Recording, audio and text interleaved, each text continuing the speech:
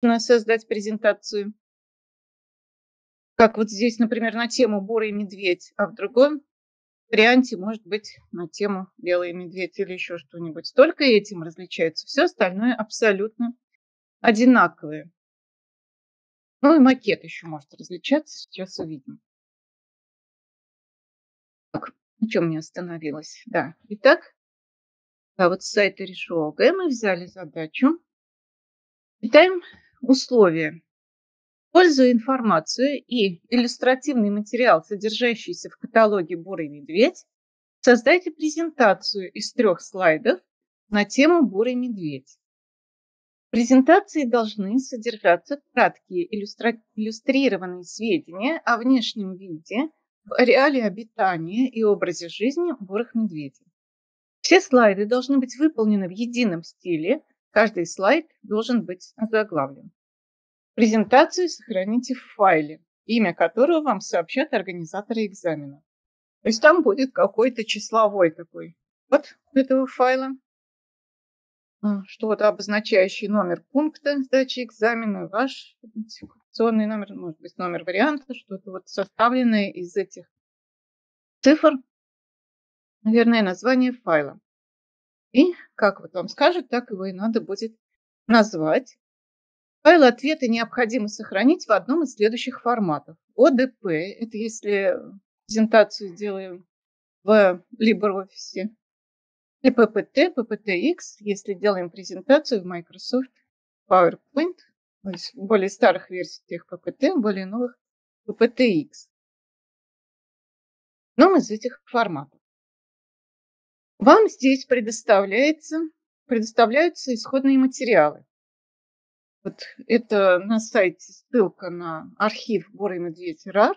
А на экзамене, а, честно говоря, я э, точно не скажу. Там э, архив дается, который надо распаковать или, или уже готовые. Но в любом случае, наверное, мы его не скачиваем, да, потому что интернета не будет. Наверное, уже будет готовый в компьютере архив. Вот здесь он у меня спакованный уже. Так, а есть вот, вот RAR, архив не распакованный. То есть если вам дадут материалы в виде архива, значит вы контекстном меню правой кнопкой извлечь текущую папку. Да, делаем, э, тогда создается папка, получается, бурый медведь. И что в ней? Вот папка «Бурый медведь». Что в ней? В ней картинки, которые можно помещать в презентацию. Отсюда берем, потому что откуда вы еще возьмете? Больше негде будет взять. И текст, текстовый документ со сведениями о буром медведе. Откуда? Надо будет брать фрагменты текста. Можно и свое написать, если вы хорошо знаете про бурого медведя. Это не возбраняется, но зачем, да? Лучше брать отсюда фрагменты. Конечно, не весь текст, ни в коем случае, он очень большой. Как мы увидим, много у вас и не поместится. В презентацию поместится очень мало текста. Вот отсюда можно будет брать кусочки текста и вставлять в презентацию. Итак, задание мы уяснили. Надо создать презентацию из трех слайдов на тему «Бурый медведь». И здесь уже некоторые требования сказано, что все слайды, например, должны быть выполнены в едином стиле, каждый должен быть озаглавлен. Но кроме этого тут еще очень много требований. Требования к оформлению презентации. Ровно три слайда без анимации.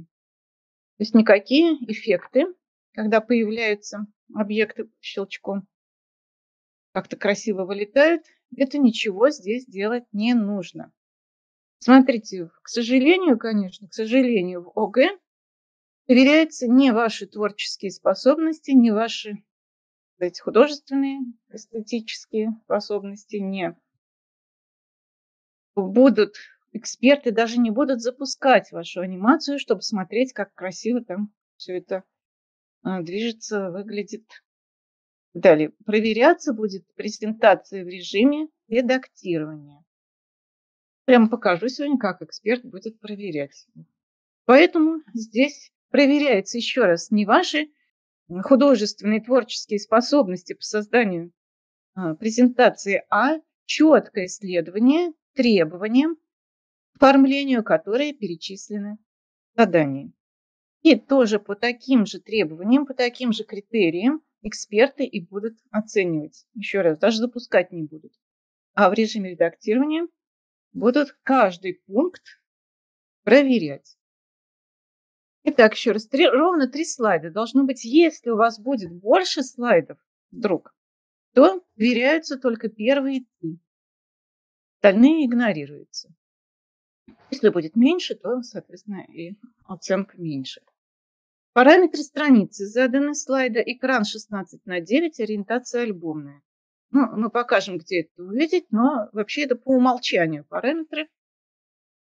То есть их и не надо, в общем-то, сами настраивать. Они автоматически должны быть установлены, вот такие параметры 16 на 9.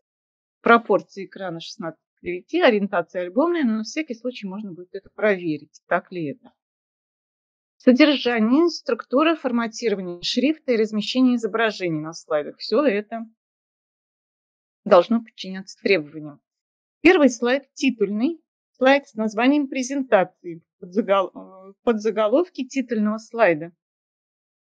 То есть там должен быть заголовок, а еще подзаголовок. Под заголовки титульного слайда в качестве информации об авторе презентации указывается идентификационный номер участника экзамена у вас будет написать. То есть вы пишете заголовок, например, «Бурый медведь», логично назвать, да? а в подзаголовке пишите свой идентификационный номер. То есть ни в коем случае не надо писать фамилию, имя, школа, учителя, класс и так далее. Это ничего не нужно. Вы там э, следите зашифрованные, чтобы эксперты не знали, кого они сейчас проверяют, и могли сказать, объективно оценивать. Пишется ваш ID. Второй слайд. Основная информация. В соответствии с заданием. Размещенная по образцу на рисунке макета. Слайда второго. Там должен быть заголовок слайда, два блока текста и два изображения. Но это для этой задачи. Слева два изображения с э, поменьше размером, справа два текстовых блока, длиннее, так сказать, расположены. Сверху вот эти две Линии означают заголовок. Это не значит, что линии надо рисовать. Не означает заголовок. То есть какой вы хотите, там такой заголовок напишите, но он должен быть. И вот все это располагается на втором слайде именно так, как на макете. Вот первый слайд, титульные названия и информация об авторе. Здесь ваш ID будет написан. Ну и на третьем слайде другое расположение. Здесь, например, три изображение три текстовых блока, расположенные вот так в шахматном порядке.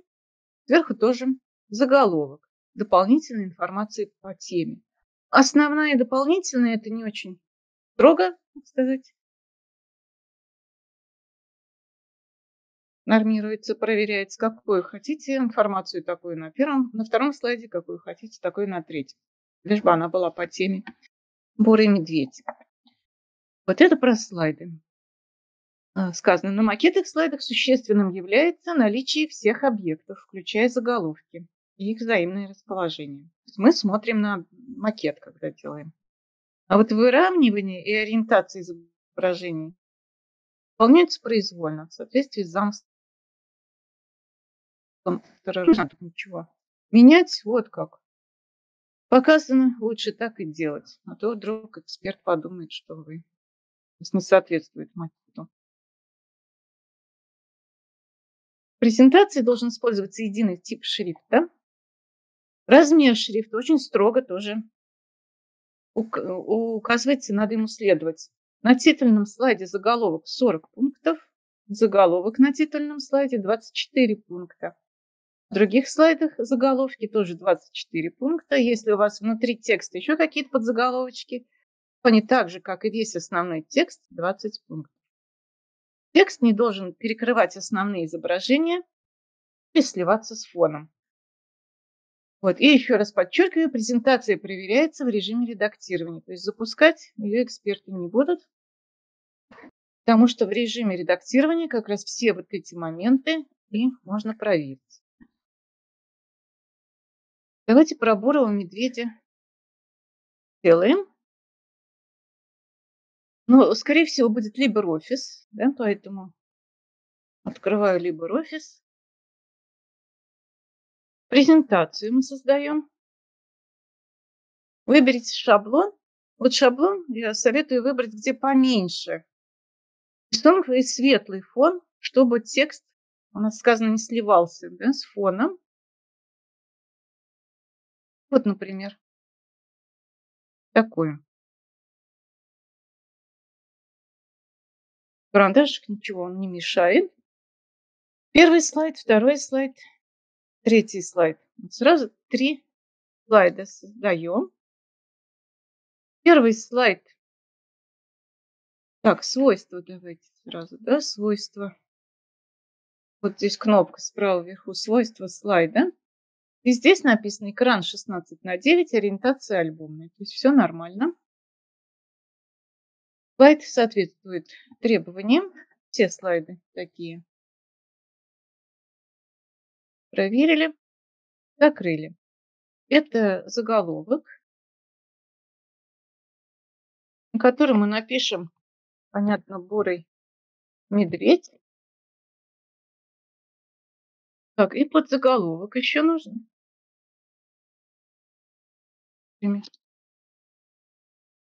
Копируем. И тут будет какой-то ваш идентификационный номер. И больше ничего. Теперь сразу шрифт. Здесь 33 пункта, а нам нужен 40. Посмотрели там в требованиях 40. Под заголовок 33 по умолчанию, но нам нужен 24. Все, титульный слайд. Все. Расположены они так, как в макете. То есть сверху заголовок, снизу под заголовок, по центру. Это там нигде не сказано по центру или как. Ну, похоже на макет. Самое главное здесь – это размер шрифта. Наличие заголовка под заголовка и размер. Второй слайд.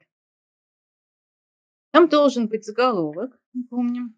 Ну, можно не придумывать ничего, так написать основная информация. Посмотрим еще раз на макет. Две картинки слева и два текстовых блока справа. Это сейчас у нас текстовые блоки.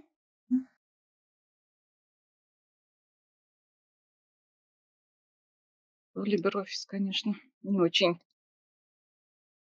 приятно работать, но можно с ним справиться.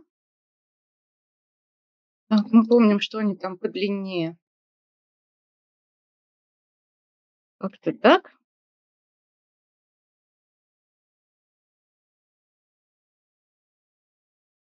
Примерно пока. Обязательно их должно быть два блока. Смотрите, если у вас будет один большой, это неправильно. Вот два отдельных блока текста. Здесь должны быть размещены изображения. Мы их возьмем из этих материалов. Ставка изображения. Ну вот как раз где тут бурый, бурый медведь. Двинем. Ну, у него размер такой хороший. И уменьшать не надо. Да, еще какой-нибудь бурый медведь.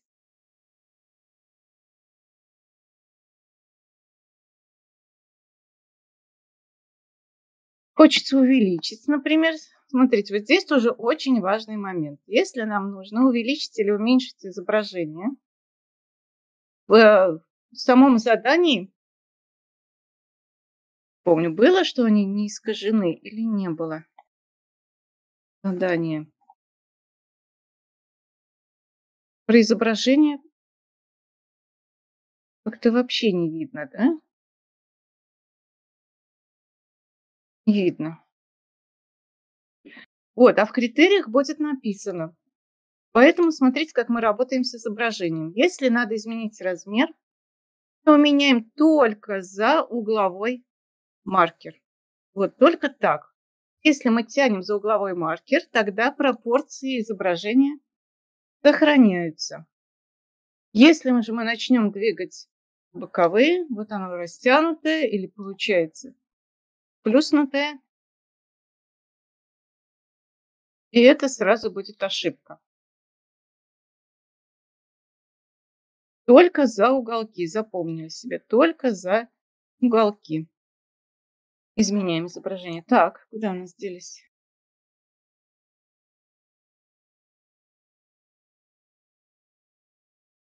Блоки текста. Ну, мы сейчас из текста, наверное, вставим. Берем текста немного. Ну, например, вот этот небольшой абзац. Копировать. Ставить. И надо обязательно посмотреть размер шрифта.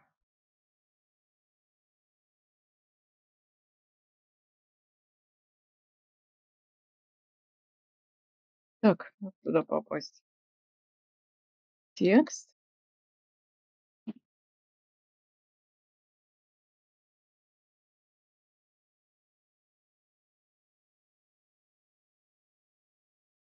Так, где у нас панель инструментов? Форматирование текста. Вот он шрифт. Нужен шрифт. Так, вот заголовок. Хорошо получается. 24. Так. А текст?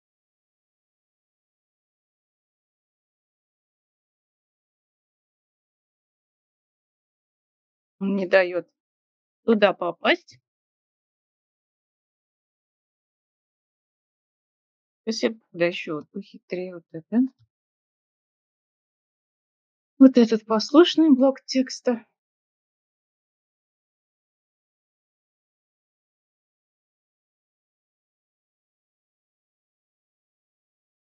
Казалось бы, сколько раз уже делали, и что-нибудь может пойти не так. Так, ставим. Цвет черный. Шрифт. Вот еще вспомнил, что шрифт. Сейчас мы сделаем размер 20. Так, выравнивание лучше делать по левому краю. Ну так лучше смотрится.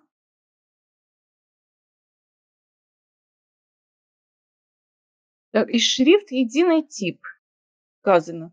Ну вот лучше брать в презентациях такой прямой шрифт Ариал или вот как тут Libera Sense. Шрифт без засечек. А вот в этом в Times New Roman, да, вот тут есть у буквы Б, например, видно засечку. Буквы Д, вот эти вот называются они засечки. Лучше сделать какой-то прямой, ну, например, ареал, да, хорошо смотрится. И еще раз проверили 20 пунктов, 24 пункта. Еще один блок текста. Вот им, они обязательно два отдельно. И сюда вставим еще какой-нибудь, как вы видите, мы берем небольшой. Ну, там было сказано про ареал. Ну, вот столько Возьмем больше, наверное, не надо. Содержание не очень важно. Важно, что оно по теме. Так вот, можно за образец взять.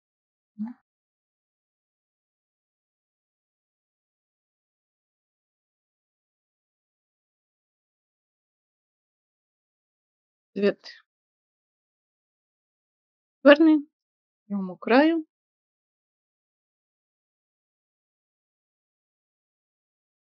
И главный размер 20. Вот сейчас соответствует макету. Два рисунка, два блока текста. Размер проверили. И единый тип. Ну и третий Так, надо, наверное, что-нибудь написать вот так, чтобы не исчезали эти, не терялись. А потом вставим действительно тот текст, который надо. И там их три.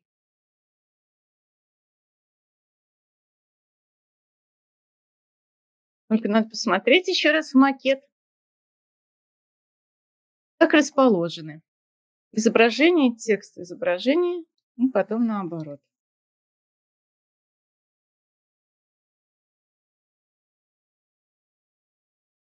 Вот видите, сколько времени требует эта задача. Изображение вставим. Так. Вот большой. Вот мы его уменьшаем обязательно за угол, за уголок. Когда пропорции сохраняются.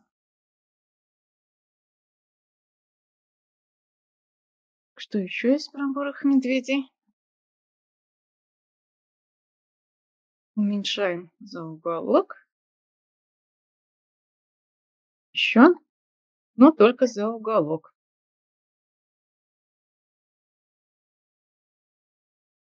Да и медведи. Все равно какие картинки. Даже не сказано, что они разные. А картинки обязательно должны быть цветными или черно-белыми, без разницы? Без разницы, ну какие дадут. Вот из этого любые можно брать, а больше же вы нигде их не возьмете, кроме этого архива. Какие вам предоставят, вот, такие будете брать. Какие есть. Без разницы, там какие они будут. Тут главное только отсутствие искажений и правильное расположение в соответствии с макетом. Больше ничего не проверяется. Ну, еще берем какие-нибудь точки текста. Можно даже не вникать в содержимое.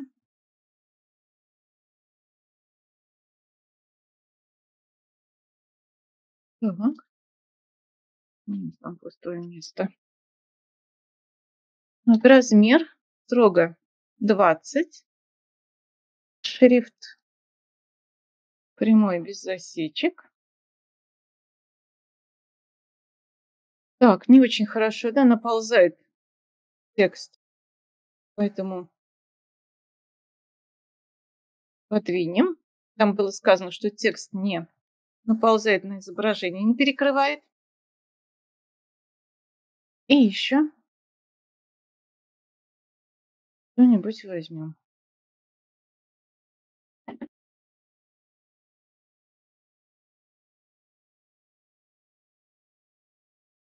Так, по образцу. По образцу. Еще.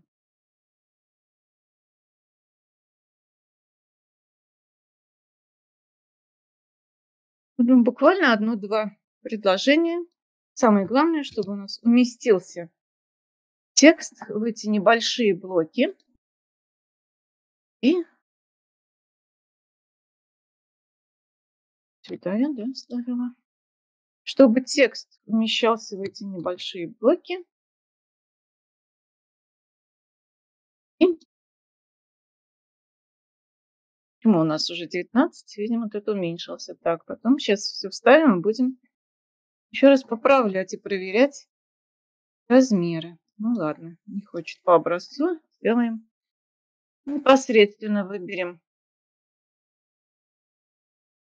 Ареал 20.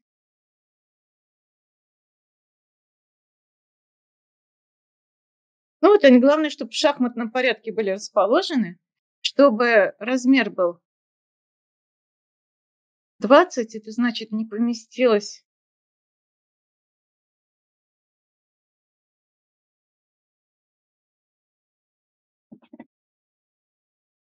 Увеличить размер блока, подвинуть картинку. И еще раз все проверить. 20. Так, почему 27? Где вообще? А, я еще не писала, да? Дополнитель Ная информация. Вообще можно написать что угодно. по теме, например, там ареал обитания или все что угодно. Начинаем с заголовка проверять 24. Текст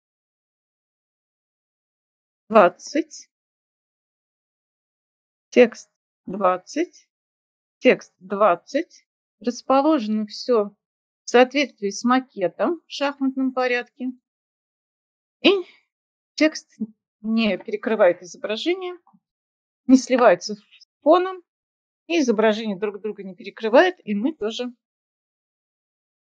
э, знаем, что изображения не искажены, потому что мы их строго только за уголки растягивали, сжимали. Только так. Вот, мы сделали. Обязательно сохранить а, файл. Сохранить как? Ну, сохраним ОДП. То есть презентации созданы в LibreOffice. У экспертов тоже будет возможность проверить ее в LibreOffice. То есть она выглядит, выглядит так, как вот вы ее создали. Ну, а имя скажут организаторы.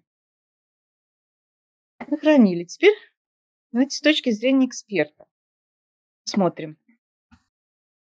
Как-то здесь вот требования разбросаны по всему заданию, то в самом начале сказано, то потом в требованиях, то после макета еще какие-то требования.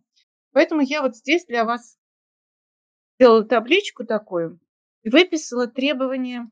Сначала выписала требования из самого задания, ну, так по порядочку. Какая должна быть презентация в целом? Три слайда без анимации, 16 на 9, альбомные. Есть.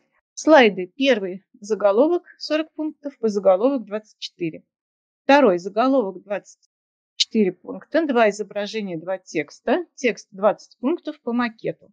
Третий, также три изображения, три текста по макету. Текст должен быть по теме. Про бурого медведя все. Размер везде пощелкиваем, проверили.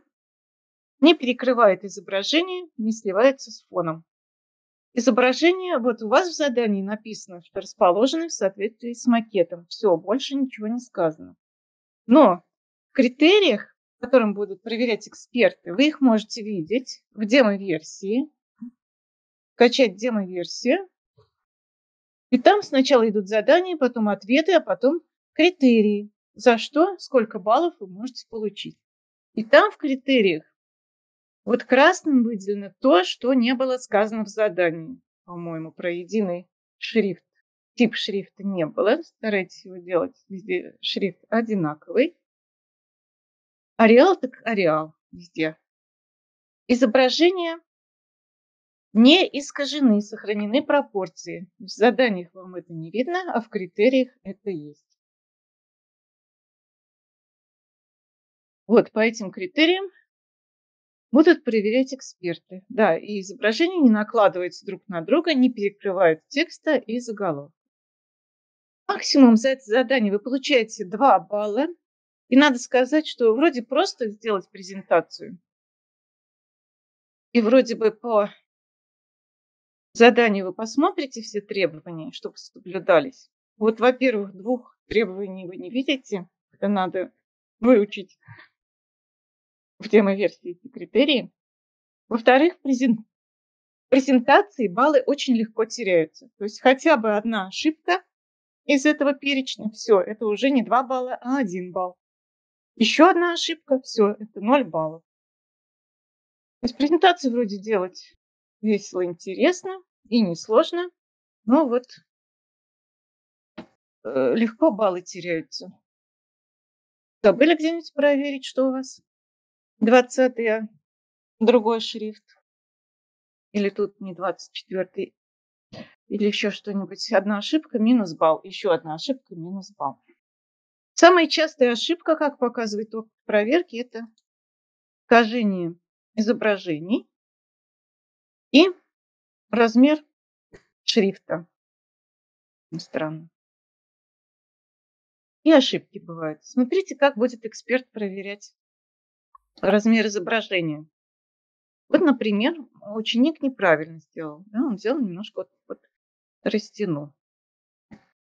Эксперт у него такие же изображения. Он вставляет, где тут они купаются, вот эти медведи.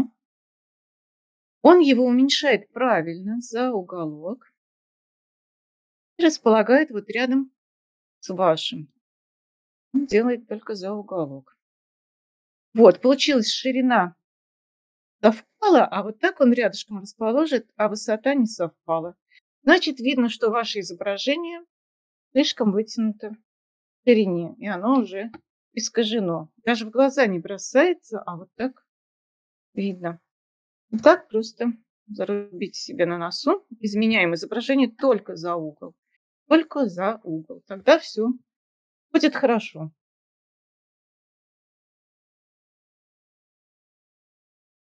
И единый шрифт, да?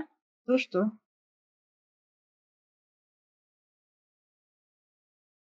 Или было там... Э, а, единый тип шрифта. Единый тип шрифта. Написано вообще-то. Ну, единый шрифт э, понимается, что либо шрифт с засечкой, либо шрифт без засечек. Ну, мне кажется, лучше вообще один и тот же. Вон взять ареал, да и все, и везде сделать. Тогда уж точно будет все нормально. Так, вот по презентации. Так, вопросы еще есть у вас? Нету. Хорошо, переходим а, к другому заданию. То есть вам на выбор. Хотите презентацию, если вы любите делать презентации, умеете. Э, больше, более себя уверенно чувствуете. А хотите, делаете текст. Значит, на выбор предлагается форматирование текста. Так, закроем про бурого медведя. Задание. Создайте в текстовом редакторе документ и напишите в нем следующий текст, лично воспроизведя все оформление текста, имеющееся в образце. Вам дается образец. Вот, например, про углерод. Но у вас где это будет? На бумажном бланке. Да? Не скопируешь, не вставишь. Даже если на компьютере, все равно ну, в виде картинки. То есть текст придется набирать, никак его скопировать не получится. Данный текст должен быть набран шрифтом размером 14 пунктов обычного начертания. Отступ первой строки первого абзаца основного текста 1 см. То есть тоже эти строгие требования. Расстояние между строками текста не менее одинарного, но не более полуторного междустрочного интервала. Основной текст выровнен по ширине. Вот красным, это просто я то, что касается таблицы, отделяла. Тут все в перемешку. Про текст, а теперь тут же про таблицу пошло. В ячейках первого столбца таблицы применено выравнивание по левому краю. Это потому что про выравнивание говорят. В ячейках второго и третьего столбцов по центру. В основном тексте и таблице есть слова, выделенные полужирным, курсивным шрифтом и подчеркиванием. Ширина таблицы меньше ширины основного текста. Таблица выровнена на странице по центру горизонтали. При этом допустимо, чтобы ширина вашего текста отличалась от ширины текста в примере, поскольку ширина текста зависит от размеров страницы и полей. В этом случае разбиение текста на строки должно соответствовать стандартной ширине абзаца. Интервал между текстом и таблицей не менее 12 пунктов, но не более 24 пунктов. Текст сохраните в файле, имя которого вам сообщат организаторы. Файл ответа необходимо сохранить в одном из следующих форматов DT или Doc или DocX, то есть либо в LibreOffice, либо в Microsoft Office. Более старые версии, более новые версии. Вот образец текста. Больше там нет Э, других требований. То есть все здесь, но тоже не очень удобно читать, все как-то сплошным текстом. Да еще там нервозные обстановки экзамена, ну, можно какие-нибудь требования пропустить, поэтому придется несколько раз прочитывать все эти вам требования или сейчас потренироваться, много раз эти тексты пописать и уже выучить эти требования. Вот образец текста, он состоит из собственно, текста и таблицы. Вы видели, что отдельно есть требования для текста, отдельно требования для таблицы. Так, создадим LibreOffice документ Writer. И напишем этот текст. Так, слева задание.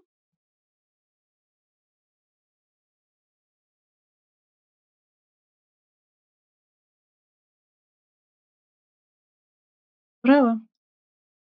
Напишем. Но думаю, что сначала надо писать, не обращая внимания на форматирование. Сначала редактируем, то есть пишем, потом форматируем, то есть приводим внешний вид в соответствие. Углерод. Посмотрим, сколько времени да, займет. 0,8. Углерод. Один из химических элементов периодической таблицы Менделеева. Вот видите, у меня поместилось больше. Тут перенесен, да, перенесено слово Менделеева, у меня уместилось. Это ничего страшного, там, как и было сказано, ширина не обязательно такая же.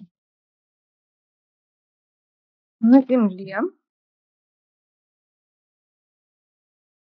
в свободном виде получается. В виде алмазов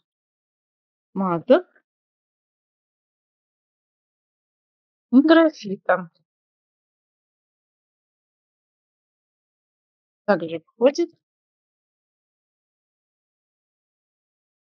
В состав многих. Широко известных природных соединений. Не так часто, наверное, да, приходится набирать, мы привыкли уже копировать, вставлять. Все руками. Углекислого газа, известняка, нефти. Последние годы ученые искусственным путем получили новую структуру углерода в скобочках графен.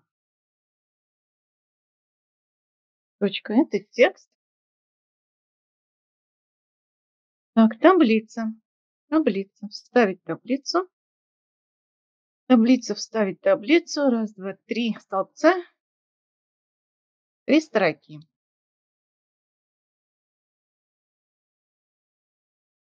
Так, у меня включились невидимые символы.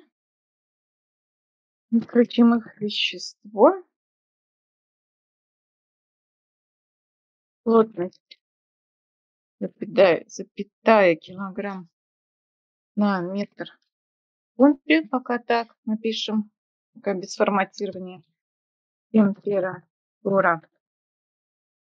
Вот линия.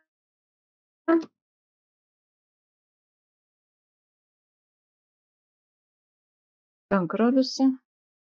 Наверное, надо ставить все-таки сразу. Ставка. Специальные символы.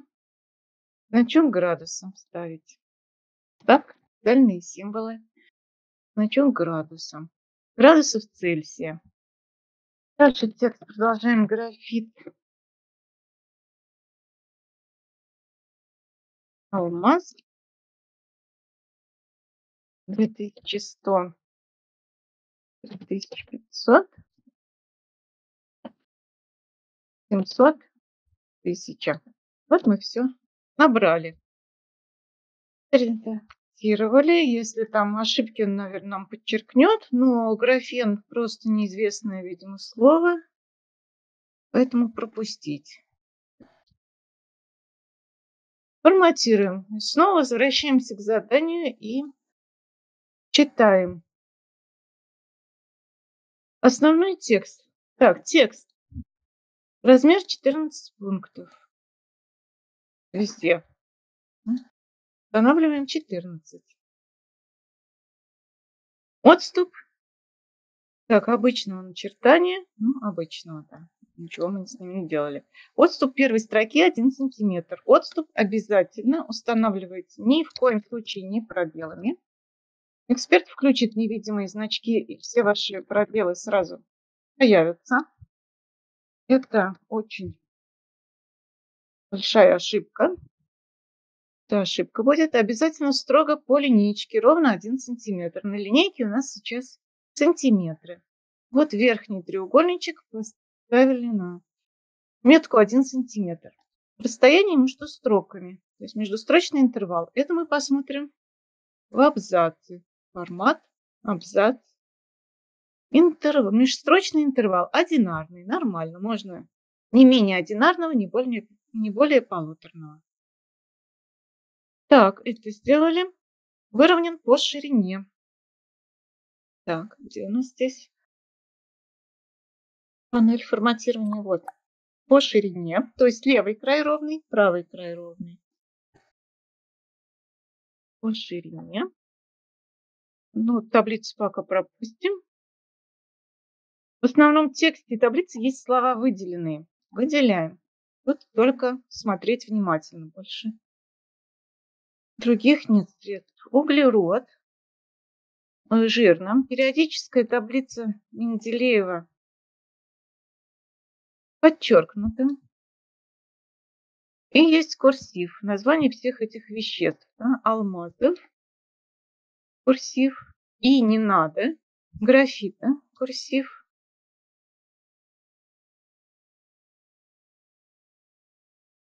Углекислого газа известняка нефти. Здесь подряд все названия веществ. Графен. Курсивом. Жирным подчеркиванием. Курсивом можно сосчитать, да, курсивом 1, 2, 3, 4, 5, 6, 7 слов. 1, 2, 3, 4, 5, 6, 7 слов. Так.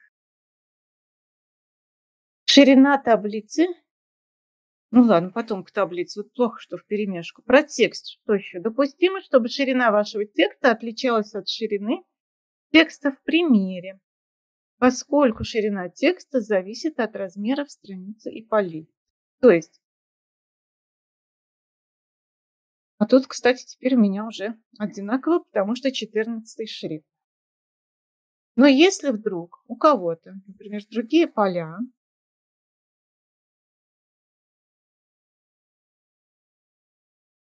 Например, были и или наоборот, поменьше сейчас, чтобы побольше уместилось.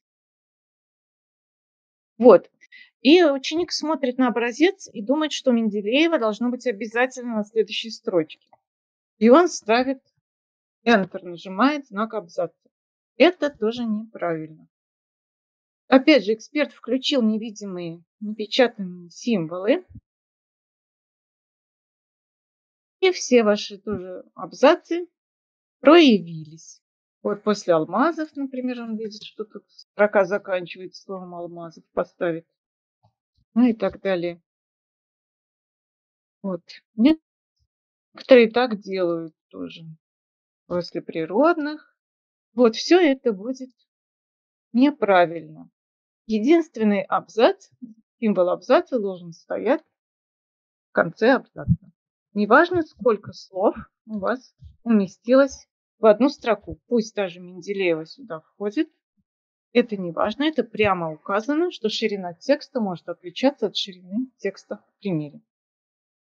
Вот, то есть эксперт включает напечатанные символы и видит, что единственный знак абзаца стоит в конце. Это правильно и хорошо.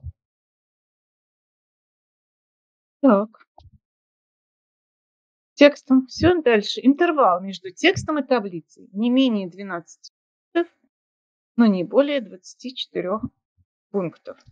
У нас здесь, похоже, между текстом и таблицей вообще никакого интервала нет. Они вплотную. Что делать? Ну, проще всего, наверное, ставить строку. Вот одна пустая строка, у нее размер 14 пунктов. Это значит, что она входит в этот интервал от 12 до 24 пунктов. Но тут может быть еще и, после абзаца отступ. Опять же, мы должны проверить формат абзац. После абзаца 0. Ну, тут, правда, в сантиметрах, но 0, он и есть 0. Значит, у нас между абзацем и таблицей ровно 14 пунктов, и это укладывается в допустимый интервал. Это требование мы тоже соблюли. Кстати, давайте сразу про сантиметры и пункты. Может так оказаться, что здесь настроен редактор так, что он дает размеры в сантиметрах. Кстати, мы сейчас видели как раз 0 сантиметров, да, а нам нужны пункты. Смотрите, запоминайте, где. Так, сервис, параметры, LibreOffice Writer раскрываем, общие, вот настройки, единица измерения сантиметр. Нам нужен пункт, то есть точка. Пункт и точка. Это одно и то же. Да? Точка. Окей. Что теперь получилось? Формат абзац. После абзаца 0 пунктов. Могло быть, например, 10 пунктов, а 10 плюс 14 это 24 тоже. Тоже нормально укладывается. Вот тут 10, вот этот пустой промежуток, и еще 14. Но вот не более. Поэтому лучше, мне кажется, сделать 0, и все, и не думать про пункты сантиметра. Теперь, кстати, на линейке тоже пункты, а не сантиметры. Так, формат, абзац. Лучше сделать 0. И все тут. 0. И вставить одну пустую строчку размером 14 пунктов, и тогда все будет нормально, в пределах нормы. Вот видите, даже вот это тоже проверяется, и тут, между прочим, тоже многие ошибаются, наверное, не обращают внимания, что ли, на это расстояние, или не знают, как посмотреть. Так, так, что там тяжкие вздохи. И сервис. Еще раз покажу сервис параметры. Офис. Вот раскрыт. Общие единицы измерения. Точка. Если надо, опять на сантиметры, чтобы на линейке были сантиметры. Так, с таблицей работаем. Во-первых, мы видели а, ширина а таблицы. Да. А вот можно да. вот задание с презентацией или это, или только одно что-то? Только? А, ну вы можете сдать оба. Тогда ставится больше, по-моему. Ну, когда мы вручную проверяли, точно ставилось больше. Да? А сейчас в системе в этой на компьютере, ну там тоже, наверное, оба файла будут. И ставится лучший. Думаю, что так. Можно и оба. Вы успеете, да как бы не вышло хуже, чтобы быть торопиться, успеть и то, и другое, не наделать бы побольше ошибок. Смотрите, так, как будет со временем. Так. Таблицы. Да, каждый для себя все-таки должен определить, что он лучше, где он лучше. Ширина таблицы меньше ширины текста. Мы увидели это требование. Уменьшили. Насколько там, неважно, главное, что меньше. Так, мы видим э, выделение тоже в э, заголовках жирный, да, жирный, остальное не жирный. Но нам надо, чтобы соответствовал макету, чтобы вот температура поместилась в одну строчку. Да? Вот так надо убрать, мешаются символы. Поэтому мы уменьшим первый столбец, уменьшим Второй столбец. Вот теперь совсем хорошо. Так, вопрос. Как выделить всю таблицу? Есть ли сейчас границы или нет, не очень понятно. Но чтобы быть уверенным, можно вот тут внизу в свойствах таблицы выбрать все границы, чтобы явно было видно, что граница есть. Хотя тоже нигде не было написано, но вдруг эксперт подумает, что не соответствует образцу. И выравнивание. Первый столбец все по левому краю, второй столбец а, все по центру.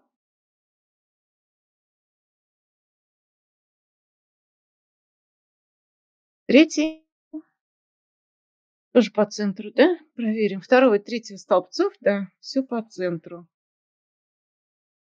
По центру. Вот где еще ошибаются прямо обидно бывает, все сделано идеально, и забывают или не знают как, чтобы таблица сама еще выровнена по центру. Где это посмотреть? Опять же мы выделяем таблицу. Так. Вот свойства, кнопочка внизу, свойства таблицы. И прям явно видно, что у меня сейчас неправильное выравнивание. Отступ слева, а надо по центру. И вот так же эксперт проверит. Он откроет свойства таблицы и увидеть, должны стоять переключатель по центру. Окей. Визуально это может не очень что-то изменилось, а но здесь вот в свойствах явно видно. Выделяем всю таблицу, идем в свойства, ставим переключатель по центру. Ну вот, кажется, все. Еще раз, а теперь давайте как эксперт. Вот я тоже выписала те требования, которые мы видим в задании. Ну, я их тут по порядочку написала про текст, про таблицу. А в критериях, кроме этого, вот красным цветом, есть еще такие строки. Можно допустить на максимальный, на 2 балла, не более пяти ошибок в тексте, орфографических, пунктуационных. То есть можно пропустить знак препинания, букву какую-нибудь пропустить, слово – или, или, или что еще бывает, там неправильно написать слово, допускается не более пяти ошибок. Целых пять ошибок можно допустить. Таблица необходимое количество строк столбцов, но это, наверное, понятно, поэтому в задании не написали. И не более трех ошибок тоже орфографических, пунктуационных, пропущена буква или что-то. Кстати, что я еще не сделала? Я не сделала метр в кубе. Это была бы ошибка. Но это одна из ошибок, а их можно не более пяти. Так. Где это символы? Нет, наверное. Так. А, у нас же есть кнопочка верхний индекс. Вот, верхний индекс. Итак, мы за это задание получаем, опять же, максимум 2 балла. Но здесь можно ошибок больше допустить. Смотрите, на один балл до трех ошибок в тексте, плюс до трех ошибок в таблице. То есть целых шесть ошибок, и это все еще будет один балл, а не так, как в презентации одна ошибка и уже один балл. Ну, два балла без ошибок. Один балл до трех ошибок в тексте, одну или две или три ошибки тексте, вот из этого всего перечня. И в таблице тоже три ошибки из этого перечня. Это все еще не 0 баллов, а 1. Или можно сделать идеальный текст и более трех ошибок в таблице. Это тоже один балл. Или вообще отсутствовать таблица может. На один балл можно сделать только текст идеально. Или наоборот, сделать идеальную таблицу без единой ошибочки и много ошибок в тексте, либо его нет совсем. Ну, а 0 баллов – это значит, например, больше трех ошибок в тексте и в таблице есть хотя бы одна. Это уже 0 или наоборот. В таблице много, больше трех, а хотя бы одна в тексте. Так что вот, думайте, как говорится, сами решайте сами, что вы будете делать. В тексте, наверное, и требований больше, но и ошибок больше. На один балл можно допустить. А в презентации одна ошибочка. Ну Все, прощи, балл. Вот таким образом. И сохраняем мы, да, сохраняем под тем именем, который скажут организаторы, ДТ, поскольку создавали Лимбер офисе. Главное проверить, чтобы вы ушли и остались на компьютере созданные вами файлы, файлы ну, на рабочем столе они, наверное, будут, чтобы их потом собрали, потому что проверять будут не в том пункте, где вы пишете, а, файлы будут собраны и переданы в другое место для проверки на флешках или на чем их там передадут. Проверяться будет в другом месте. То есть самое главное, все файлы в 13, 14, 15 задании аккуратненько сохранить. Именно они будут проверяться. Так, этот э, документ я вам скину. Полезные материалы посмотрите еще раз вот на критерии. И время подходит к концу.